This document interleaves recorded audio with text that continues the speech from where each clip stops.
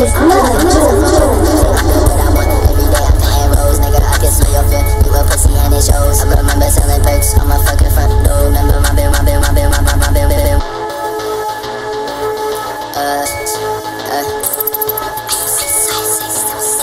fucking fucking talented, that's why nobody fuck with me. I could teach you how to swag, nigga. You a wannabe. Get your money, get your bread, no, but get you some change, nigga. That's my fucking world, so you should get used to me, nigga. That is not your girl.